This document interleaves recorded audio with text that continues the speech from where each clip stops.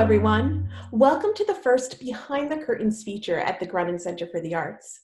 Today, we're going to learn a little bit about the ghost light. I'm sure many of you have heard that theaters leave lights on overnight, but do you know why or how it became a time honored tradition?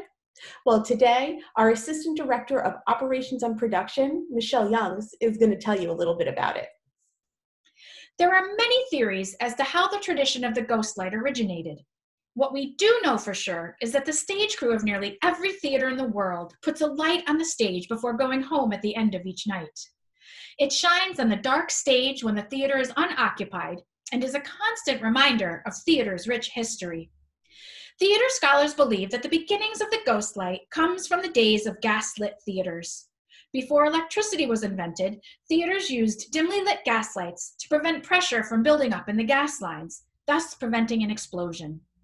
Hundreds of theaters burned down in the 1800s because of this, and people started believing that a ghost light should be left burning to keep the theater ghosts happy. Thank goodness for the invention of the electric light bulb. In the modern world, some people insist that a light is simply on stage for safety. It allows people who are working late to see where they are going so they don't fall off the stage or bump into set pieces. Others believe that it is there to chase away the mischievous spirits that are thought to inhabit most theaters. And some people argue that the theater ghosts were former actors. The ghost light keeps the ghosts happy by allowing them to perform on the stage when it is empty. The Grunin Center actually has two ghost lights on stage. They are named Arthur and Barry, two of the people who helped start the OCC Rep Theater back in the late 1960s. Arthur and Barry are still with us and enjoy coming back to the Grunin Center to watch the many shows that take place on the Grunin stage.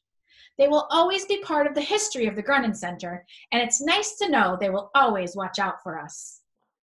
And there you have it. While not everyone believes in the history of the ghost light, it's still a respected tradition. Most theaters leave a light on, and it's a wonderful symbol that unites us all. Stay safe, everyone.